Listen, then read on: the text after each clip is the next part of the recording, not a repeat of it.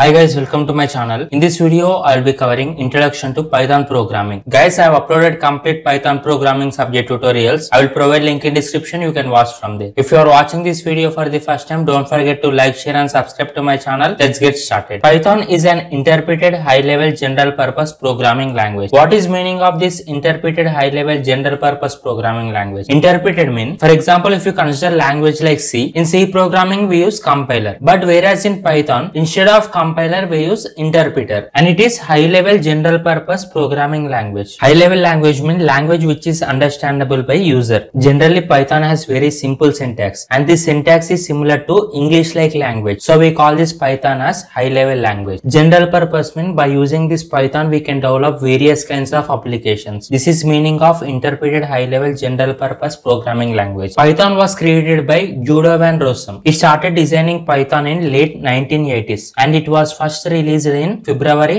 1991. Why he given name Python? Many of them will think that a given name Python because it is name of a snake, but it is not right. Actually, Rossum was fan of one popular comedy show. That comedy show name is Monty Python's Flying Circus. This comedy show was broadcasted by BBC channel in the year 1969 to 1974. So the name Python was adapted from this comedy show. Now I will explain first Python program in order to generate output hello. For example, if you consider language like C, in C program, we need to write header files. After writing header file, you need to write main function and inside main function, you need to write print hello. But whereas in Python, there is no need of writing header files and main function. Directly you can write print hello. In C, we use printf, but whereas in Python, we use print. This print function is used to generate output. Open bracket and double quotations, you need to write hello and close bracket. There is no need of using semicolon in Python. Just write print hello. Whenever you execute this program, then you will get output hello. So Python is very simple programming language when compared to all other programming languages. Next, I will explain features of Python programming. First feature is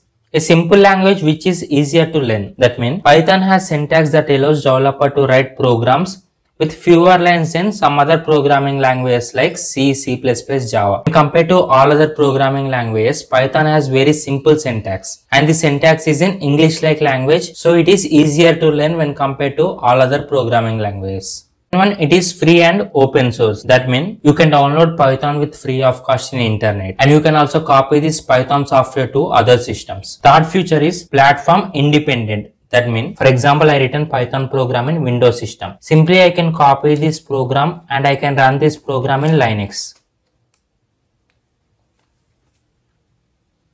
Even if you copy this program from Windows to Linux, this program will work. This is meaning of platform independent. Python programs can be developed and executed on multiple operating systems and Python can be used on Linux, Windows and Macintosh and many more. Fourth feature is portable. As I already said before, you can copy Python programs from one system to another system without any change. Fifth feature is robust. Meaning of robust is strong. Python is strong programming language because of exception handling and memory management technique. There are so many memory management techniques present in Python and, and Python has capability of exception handling. Exception is nothing but problem. If any problems occurs, then Python has capability to handle those problems. Because of these two features, Python is robust. And sixth feature is interpreted. Interpreted means there is no separate compilation and execution step. For example, if you consider language like C, in C we use compiler and this compilation is separate step. After writing entire program, then separate step is compilation. Whenever you click on Alt F9 in Turbo C, then your program will be converted from high level language to low level language. For example, this is C program which I written. Now, whatever the C program that I written, the C program is in high level language. Computer cannot understand this high level language. So in order to convert this high level language into machine understandable language, that is into low level language, we need compiler. After writing entire program, whenever you click on Alt F9, if there are no errors in your program, then your program will be successfully converted into low level language. This is use of compiler. But whereas in Python, instead of compiler, we use interpreter. Interpreter is also used to convert high level language into low level language. But difference between compiler and interpreter is, whereas in compiler, after writing entire program, then this entire program is converted into low level language. So execution takes place after writing entire program. But whereas in interpreter, execution takes place line by line. For example, I written 5 lines of code in Python. Only after executing first line, it will go to second line. And after executing second line, it will go to third line. In interpreter, execution takes place line by line. For example, if any error generated in first line, then it will stop execution. It cannot go to second line. In compiler, if you click on Alt F9, if for example, if there is any error in third line, then compiler will display that error. Just remember this difference. Compiler executes entire program at a time, but whereas interpreter will execute program line by line. And this interpreter will occupy less memory when compared to compiler. There is no separate compilation and execution step like C and C++.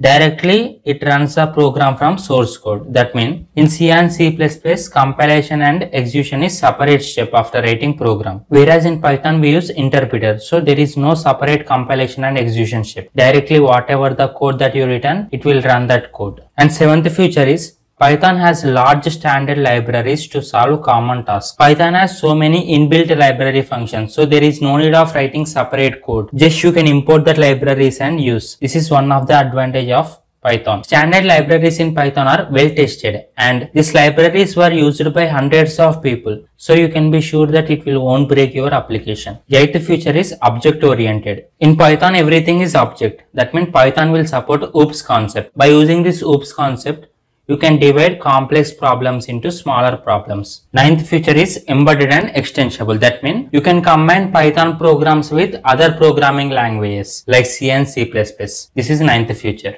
Next I will explain applications of Python.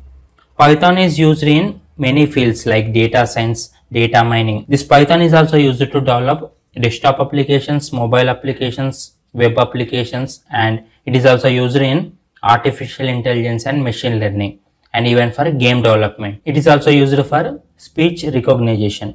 These are various applications of Python. The most recent version of Python is Python 3 which we are using right now. Python 2 is old version whereas Python 3 is new version. There are many features in Python 3 when compared to Python 2. This Python 2 is not being updated with any other features except security features. This is first Python program in order to print my name. So here I written print and open bracket inside double quotations I written my name is Nagendra. Whereas in C we use printf but whereas in Python you need to use print.